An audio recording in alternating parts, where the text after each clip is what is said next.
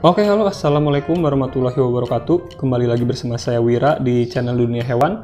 Di sini saya mau berbagi tips tentang ternak burung parkit Australia ini atau burung falk ini gitu ya di kurung soliter kayak gini gitu ya guys. Di sini saya akan kasih tahu setup kandang yang baik dan benar gitu ya sepengalaman saya selama ternak si burung falk ini gitu ya. By the way ini burung falk ini udah produksi tiga kali gitu ya di saya dan ini baru ganti gelodok guys karena gelodok yang kemarin uh, udah gak enak dipandang lah ya udah buluk gitu guys.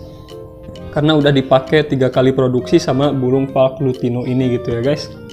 Beda ini satu yang bertinanya namanya si Jamkun dan satu lagi jantannya belum ada namanya gitu ya guys.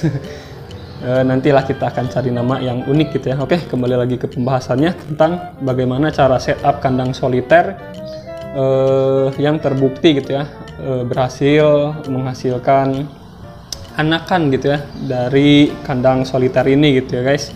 Nanti video selanjutnya saya mau membahas tentang video koloni gitu ya, video setup kandang koloni dan sekarang saya akan membahas terlebih dahulu tentang setup kandang soliter seperti ini gitu. Soliter tuh jadi sepasang-sepasang di kurung yang seperti ini gitu ya. Oke, untuk ukuran kurungnya sendiri gitu ya, ini tuh bukan kurung ukuran 40 kali 60. Kalau 40 kali 60 itu buat lovebird ya. Kalau untuk falek kekecilan gitu ya guys. Jadi ini tuh ukuran kurungnya eh, 70 kali 40 gitu ya, nggak tahu 75 nggak tahu 70 gitu ya sekitaran segitulah ya. Nah untuk kurungnya tersendiri gitu ya minimal ukuran 70 kali 40 gitu ya guys. Jangan ukuran buat lovebird gitu ya yang 40 kali 60 karena itu kekecilan gitu ya guys. Bisa sih pakai kurung yang 40 kali 60 tapi si gelodoknya jangan disimpan di dalam gitu ya. Kan kalau ini yang 70 gelodoknya bisa disimpan di dalam gitu ya guys kalau kalian mau pakai kurung yang ukuran 40 kali 60 gelodoknya simpen di luar dan dilubangin di sininya gitu ya. Buat masuk burungnya gitu ya guys dilubangin. Nah kalau itu sih ribet ya harus ngelubangin kurungnya. Mending kalian beli aja kurung yang ukuran 70 kali eh, 40 ini gitu ya biar udah pas lah ya buat ukuran burung palek. Bisa loncat sana sini gitu ya guys bisa ngepakin sayapnya gitu ya dan uh, yang berikutnya untuk penempatan gelodok gitu ya.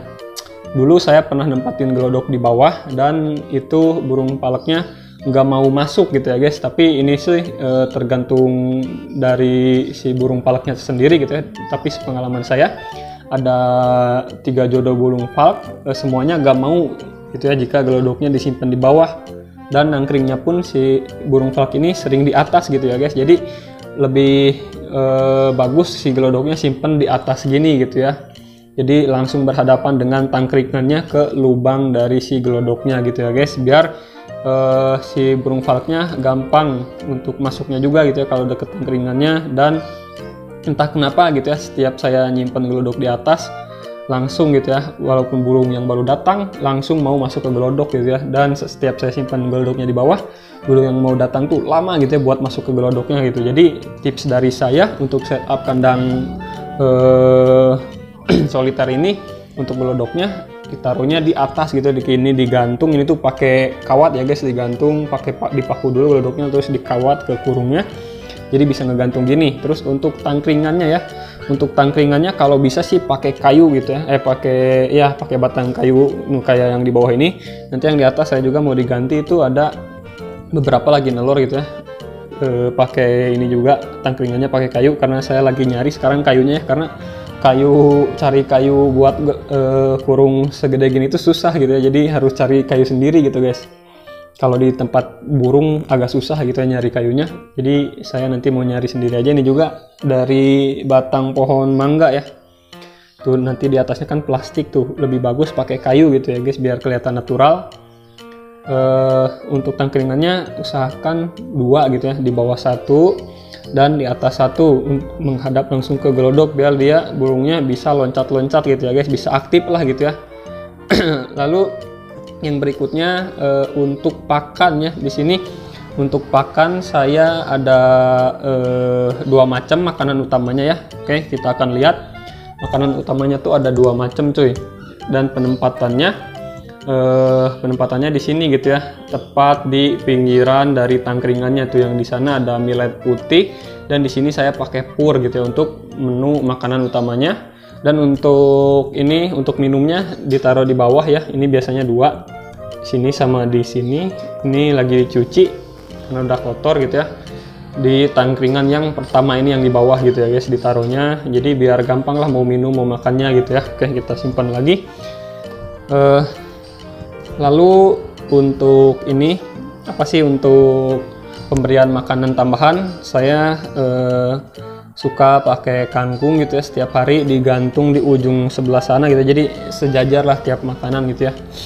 Uh, dan di bawah saya pakai kecambah gitu atau toge gitu ya guys. Saya pakai toge buat asupan sayur-sayurannya gitu buat menambah birahi juga. Untuk breeding tuh bagus ya pakai kangkung sama toge gitu guys.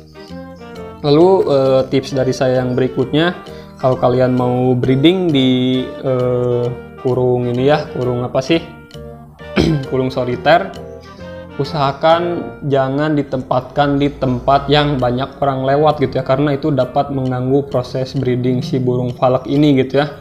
Terutama kalau burung falaknya yang gak jinak gitu ya. Kalau yang gak jinak ketemu orang pasti bakal uh, stres lah ya gitu. Kalau terus ketemu orang tapi e, bisa beradaptasi juga sih gitu ya burung polek ini. Cuman kalau untuk breeding lebih bagus ditempatkan di tempat yang jarang orang lewati gitu ya supaya lancar lah gitu ya proses breedingnya. Ini by the way saya lagi proses penyembuhan ini ya proses penyembuhan e, kena snot nih si betina palaknya. Jadi ini dipisah dari jodohan yang lainnya ini sendiri di sini gitu ya ditempatinnya. Tapi saya nggak nggak pisah sama jodohannya gitu ya guys karena ini sebentar lagi kayaknya mau nelor juga jadi sayang gitu ya kalau mau dipisah karena ini lagi proses pengobatan. E, bagi kalian yang mengalami masalah sama gitu ya e, burungnya terkena snot kalian bisa nonton video saya yang ini gitu ya guys. Saya udah membahas bagaimana cara menangani burung snot dan cara mengobatinya gitu ya.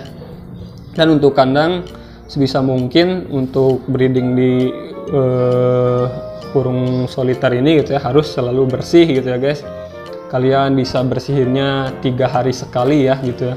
Untuk buang kotorannya bersihin sampah-sampah berserakan terus bersihin bekas-bekas sayuran yang jatuh. Dan untuk pergantian pakan saya setiap hari ya jadi ngasihnya selalu sedikit karena biar setiap hari ganti gitu ya guys. Dan untuk air juga saya setiap hari ganti untuk yang fokus ke breeding gitu ya guys.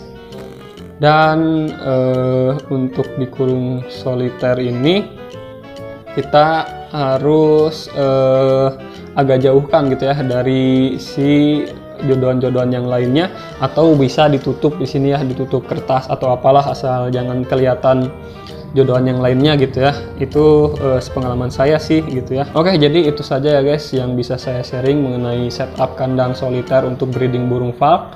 Uh, semoga informasi dari sharing saya ini dapat berguna gitu ya, dan membantu bagi kalian gitu ya guys. Amin E, mungkin itu saja. Mohon maaf bila banyak kesalahan dalam penyampaian, dalam pembagian seputar tip mengenai ternak burung falk ini gitu ya. Karena ini saya sharingnya berdasarkan pengalaman aja gitu ya. Pengalaman saya selama ternak burung falk ini gitu ya guys. Mohon maaf sekali lagi bila banyak kesalahan. Saya Wira pamit dari channel dunia hewan gitu ya guys. Jangan lupa support dan dukung terus channel saya supaya lebih berkembang dan berkembang lagi dan bisa memberikan tips-tips yang lainnya kepada kalian gitu ya. Terima kasih, saya Wira pamit. Wassalamualaikum warahmatullahi wabarakatuh.